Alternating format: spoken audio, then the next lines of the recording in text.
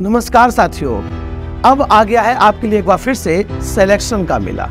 अब आपको मिलेंगे अनुभवी शिक्षकों के द्वारा तैयार किए गए बेहतरीन नोट्स अब इन नोट्स को पढ़कर मिलेगी हर बच्चे को सफलता।